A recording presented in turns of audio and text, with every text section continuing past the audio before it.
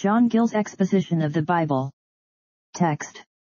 And Judah said unto Onan, Go in unto thy brother's wife, and marry her, and raise up seed to thy brother. Genesis 38. 8. Commentary.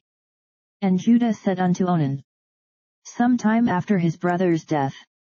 Go in unto thy brother's wife, and marry her. Moses here uses a word not common for marriage, but which was peculiar to the marrying of a brother's wife according to a law given in his time.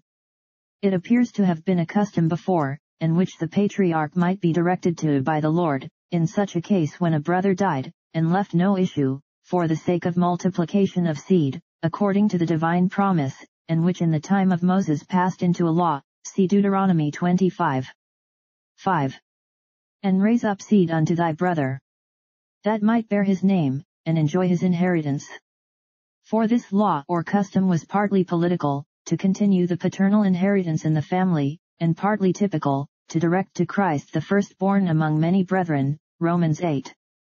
29, who in all things was to have the preeminence, Colossians 1. 18. And this was not taken from the Canaanites, among whom Judah now was, but from the ancient patriarchs, which they had no doubt from divine revelation, and was taught in the school of Shem, and handed down from father to son. For as to this being a law among the Egyptians in later times, and which continued to the days of Zeno Augustus, it is most likely they took it from the Jews.